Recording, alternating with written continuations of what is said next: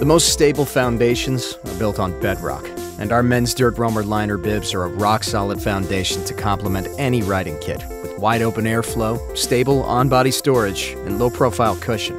Your nether regions have never felt so dreamy. The bib's powerfully stretchy suspenders use glued edges and stitchless construction for soft, torso hugging stability without chafing.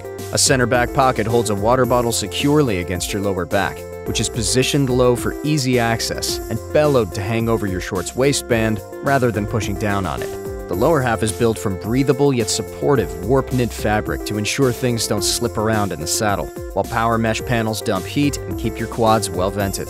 Two stretchy mesh pockets at the thighs store snacks, cards, or other small items, and pair with the pass through thigh pockets on our Dirt Roamer bike shorts and Dirtcraft pants. At your backside, the three layer, 3D engineered Italian chamois is tapered for unobtrusive cushion and positioned specifically to match a mountain bike saddle, while soft silicone grippers inside the leg cuffs secure the chamois and eliminate any chafe.